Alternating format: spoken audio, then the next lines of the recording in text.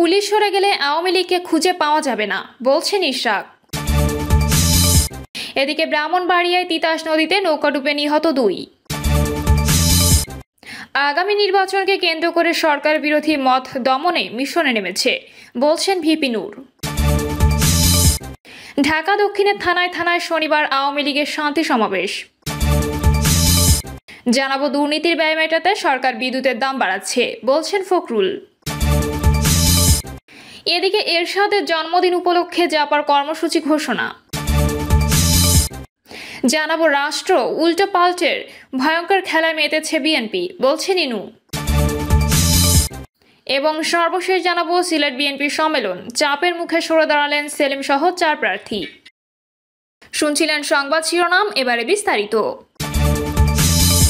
Police সরে গেলে আওয়ামী লীগকে খুঁজে পাওয়া যাবে না, বলছেন ইশাক ক্ষমতাসীন আওয়ামী লীগ সরকার বিএনপি শান্তিপূর্ণ কর্মসূচিতে পাল্টা শান্তি সমাবেশের নামে দেশে নৈরাজ্য সৃষ্টি করতে চায় বলে মন্তব্য করেছেন বিএনপির আন্তর্জাতিক বিষয়ক কমিটির সদস্য ইঞ্জিনিয়ার ইশরাক হোসেন।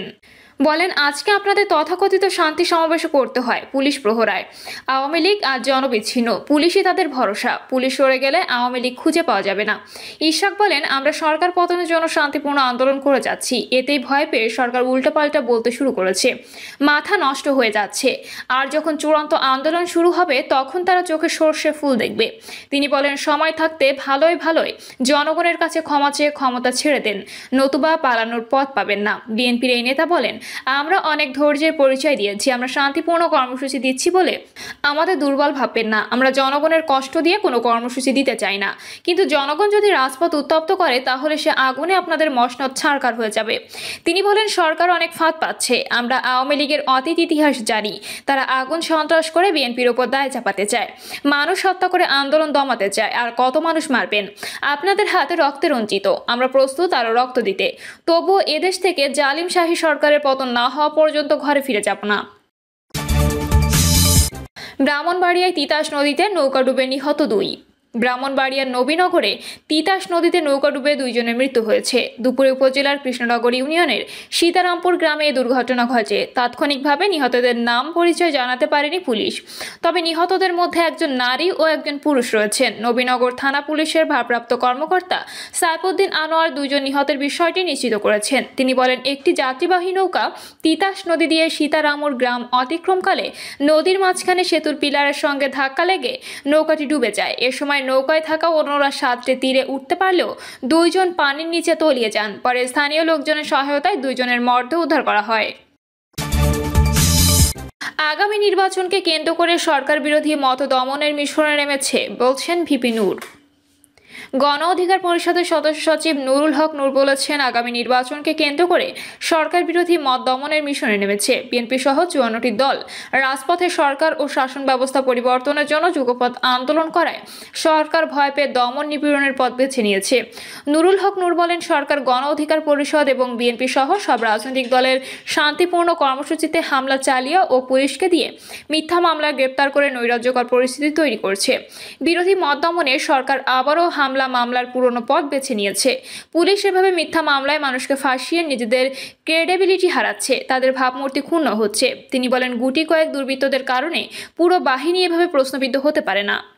তাই পুলিশকে এ ধরনের জঘন্য কাজ থেকে বিরত থাকার আহ্বান জানাচ্ছি। সরকার আবারও পাতানো নির্বাচন করতে অনেক দলকে সিটের প্রলোভন দেখাচ্ছে। আমরা সরকারের এমন পাতানো নির্বাচনের স্বপ্ন কখনো পূরণ হতে দেব না।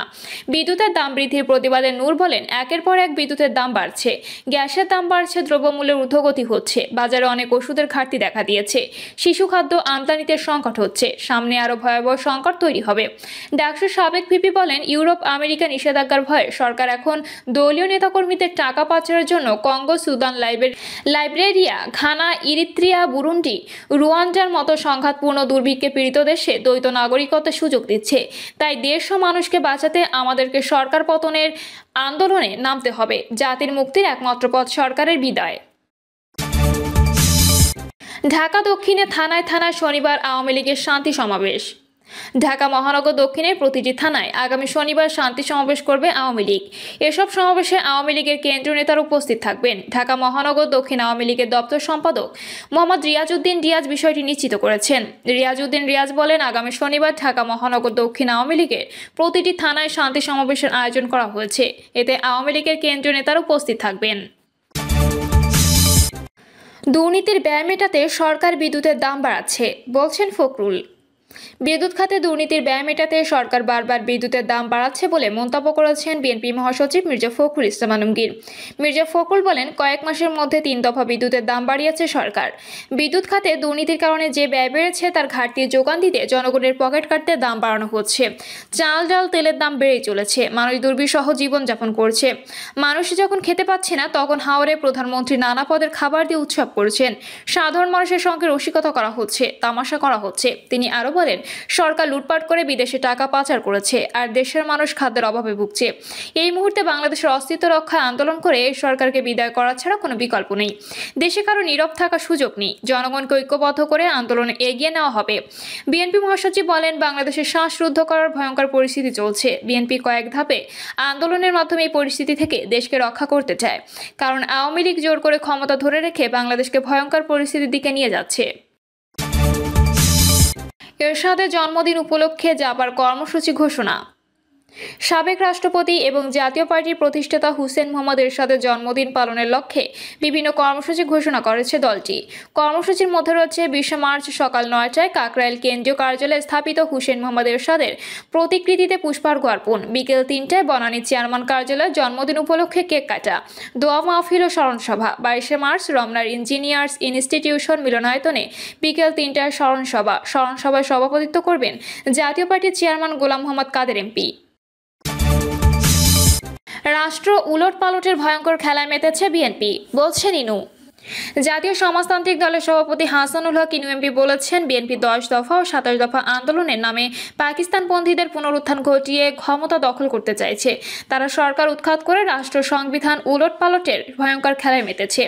বিএনপির এই আন্দোলনের মধ্যে জনগণের কোনো স্বার্থ নেই। হাসানুল হক ইনু বলেন, বিএনপি আন্দোলন করে নির্বাচন বানচালের যত চেষ্টাই করুক না কেন, যত সময় নির্বাচন হবে। তিনি বলেন এখনও সংবিধান সম্পূর্ণ কলুষমুক্ত রাষ্ট্রের মেরামতের কাজ সম্পন্ন হয়নি। তাই মুক্তিযুদ্ধের চেতনার ভিত্তি ভিত্তিতে বাংলাদেশ রাষ্ট্রকে মেরামত ও পুনর্গঠনের জন্য মুক্তিযুদ্ধের পক্ষের অসাম্প্রদায়িক গণতান্ত্রিক প্রগতিশীল শক্তিকে মুক্তিযুদ্ধের চেতনা আদর্শের উপর দাঁড়িয়ে ঐক্যবদ্ধ থাকতে হবে। চোদ্দ দলীয় জোট প্রধানমন্ত্রী শেখ হাসিনার নেতৃত্বে ক্ষতবিক্ষত রাষ্ট্রকে মেরামতের সংগ্রাম চালাচ্ছে। সিলেট বিএনপি সম্মেলন, চাপের মুখে সরে দাঁড়ালেন সেলিম সহ চার প্রার্থী। সিলেট মহানগর বিএনপি সম্মেলনে সভাপতি প্রার্থী হয়েছিলেন বদরুজ্জামান সেলিম। ছাত্র রাজনীতি থেকে উঠে আসা এই নেতার পক্ষে তৃণমূলের শক্তিশালী নেতৃত্ব পক্ষ নেয়, কিন্তু প্রার্থী হবেন না জানিয়ে সরে দাঁড়ালেন তিনি। মহানগর বিএনপির কাউন্সিল সভাপতি পদে বদরুজ্জামান সেলিম ছাড়াও পাঁচ প্রার্থীর আরও দুইজন সরে দাঁড়িয়েছেন। তারা হলেন মহানগর বিএনপির আহ্বায়ক আব্দুল কাইম জালালি পঙ্কি, যুগ্ম আহ্বায়ক অ্যাডভোকেট হাবিবুর রহমান হাবিব। মনোনয়নপত্র জমা দানের শেষ দিনে তারাও মনোনয়নপত্র জমা দেননি। এছাড়া সাংগঠনিক সম্পাদক পদে প্রার্থী হওয়া ছাব্বিশ নম্বর ওয়ার্ড বিএনপির সভাপতি আক্তার রশিদ চৌধুরী মনোনয়নপত্র জমা দেননি। চাপ সৃষ্টি করে সভাপতি পদে কাউন্সিলে নির্বাচন করা থেকে বদরুজ্জামান সেলিমকে বিরত রাখার অভিযোগ ওঠে। বিএনপি সংশ্লিষ্ট সূত্রে জানা যায়, সভাপতি পদে প্রার্থী হওয়ার পর থেকে বদরুজ্জামান সেলিমকে সরাতে নানা তৎপরতা শুরু হয়। স্থানীয় পর্যায়ে তো বটেই এই পক্ষ বিএনপির ভারপ্রাপ্ত চেয়ারম্যান তারেক রহমানকেও প্রভাবিত করার চেষ্টা চালান। জানা গেছে, গত সোমবার রাতে বদরুজ্জামান সেলিমের বাসায় যান বিএনপি চেয়ারপারসন উপদেষ্টা খন্দকার আব্দুল মুক্তাদির। দলটির জাতীয় নির্বাহী কমিটির সদস্য মিজানুর রহমান চৌধুরী, নগর বিএনপির আসন্ন কাউন্সিলের সভাপতি পদপ্রার্থী নাসিম হুসাইন। মহানগর বিএনপি যুগ্ম আহ্বায়ক জিয়াউল গনি আরফিন জিল্লুর। ওই সময় সেলিমের বাসে উপস্থিত থাকা একটি সূত্র জানায়, বিএনপি নেতারা তারেক রহমানের বার্তা পৌঁছে দেন বদরুজ্জামান সেলিমকে। সম্মেলন থেকে সরে দাঁড়াতে তারা তাকে অনুরোধ জানান। এরপর সম্মেলনে প্রার্থী হবেন না বলে জানিয়ে দেন সেলিম। দলীয় সূত্র বলছে, মুক্তাদির বলয়ের অনুগত ও পছন্দের প্রার্থী নাসিম হোসাইন হবেন সিলেট মহানগর বিএনপির সভাপতি। তাই বসিয়ে দেওয়া হয়েছে বদরুজ্জামান সেলিমকে। অন্যদিকে বিএনপির কেন্দ্রীয় সদস্য সিলেট সিটি কর্পোরেশনের মেয়র আরিফুল হক চৌধুরী তার বলয়ে মিফতা সিদ্দিকিকে সভাপতি পদে প্রার্থী করেছে। এই দুই কারণেই মূলত প্রার্থিতা থেকে সরে দাঁড়ালেন বদরুজ্জামান সেলিম।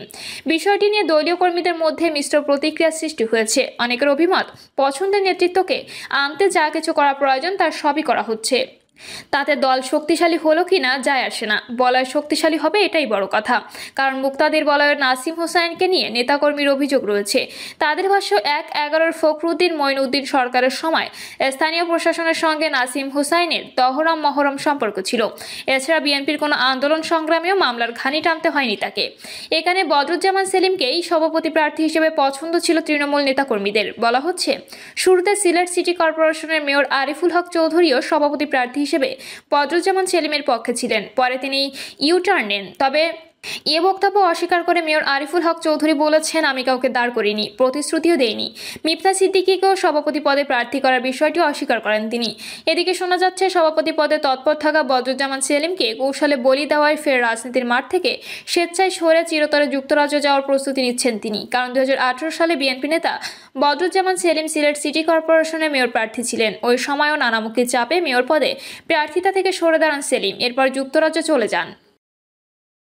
প্রিয় দর্শক, এই ছিল এখনকার সর্বশেষ সংবাদ। আপডেট সব সংবাদ পেতে চ্যানেলটি সাবস্ক্রাইব করে বেল আইকনটি ক্লিক করে রাখুন।